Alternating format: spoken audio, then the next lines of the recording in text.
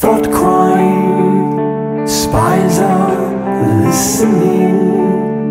Thought crime to what you're typing. Thought crime, paranoia sting. Be careful what you say. How old were they, the, the suspects? Uh, the first one was 32 years old, the second was 18 years old, and the third was 45 years old. And you look at that 18 year old, 18 years on the planet, and he's already finding ways to be a babysitter where they are put in positions to control or oversee individuals.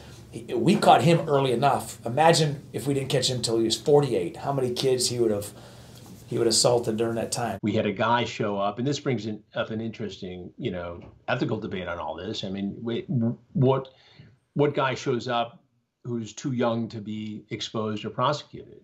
You know, is it is that an 18 year old coming for a 14 year old? Is that okay because it's only four years? Is it any less dangerous than a 28 year old coming for a 14 year old? And we had this happen a few weeks ago, where a guy came in who was 18, and he was there for a 13, 14 year old. And I interviewed the law enforcement uh, sheriff in charge of this investigation. And I asked him the very question I said, Does he get a pass because of his age?